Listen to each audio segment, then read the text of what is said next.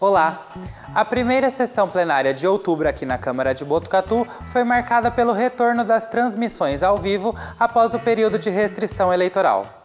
Após pequeno e grande expediente, um projeto de lei recebeu pedido de vista parlamentar na ordem do dia. E agora eu trago para você, em minutos, um resumo de tudo que rolou na noite da última segunda-feira, dia 7 de outubro. O único projeto em pauta para a noite, que pretendia determinar a proteção e a segurança do entorno das ferrovias de Botucatu, recebeu pedido de vista por parte de seu autor, o vereador Sargento Laudo, e deve retornar à discussão na próxima sessão ordinária. Além do pedido de vista, no pequeno expediente o plenário aprovou 13 requerimentos e uma moção. E este foi o nosso Sessão em Minutos dessa semana.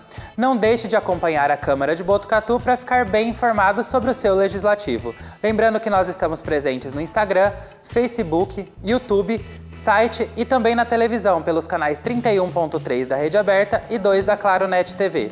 Até mais!